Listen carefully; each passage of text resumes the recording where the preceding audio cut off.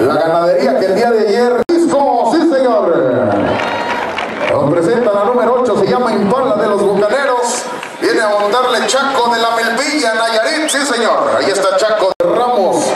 En la jugada número 9 y la número 10, con Rancho el Orgullo de Jesús Garibay, de Exatlán, Jalisco. Venga el aplauso. Ahí están los toros del Orgullo de Jesús Garibay, de allá de Exatlán, Jalisco. Cerramos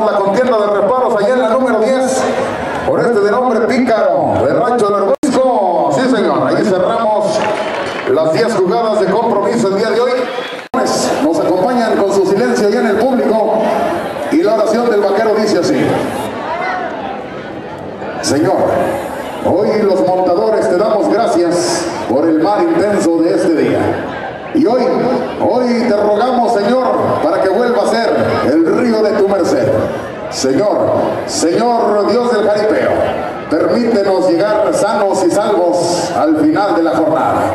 También te queremos pedir, Señor, por mis compañeros jinetes que no llegaron a tener la suerte de salir ilesos, para que hoy, hoy les mandes el pronto alivio.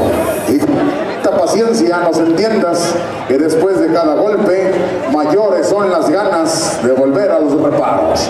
Gracias, Señor, por hacerme sentir el trueno del huracán, el relámpago de los tirones, el olor y el humo en los cajones, sentir la multitud que me apoya con su grito y a veces un poco del polvo y de la arena.